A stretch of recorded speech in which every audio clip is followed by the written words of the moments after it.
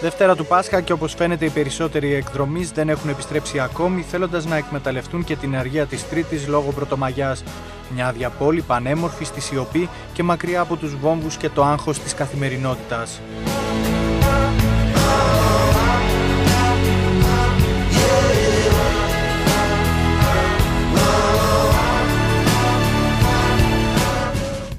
Ωστόσο η εικόνα αλλάζει δραματικά αν κατηφορήσει κανείς στη λεωφόρο Νίκης και στη Νέα Παραλία, οι οποίες φύζουν από ζωή και κίνηση από ένα πολύχρωμο σμάρι ανθρώπων που απολαμβάνουν ξέγνιαστη τη βόλτα τους με τα πόδια, τα ποδήλατα και τα κατοικίδια τους.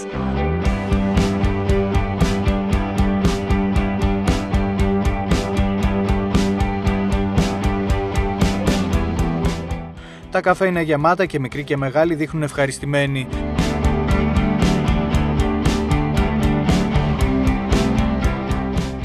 Πολλοί τουρίστες επισκέπτονται το Λευκό Πύργο και τα υπόλοιπα αξιοθέατα της πόλης, ενώ αρκετοί επιλέγουν τα καραβάκια του Θερμαϊκού για να συνδυάσουν τον καφέ και τη βόλτα τους.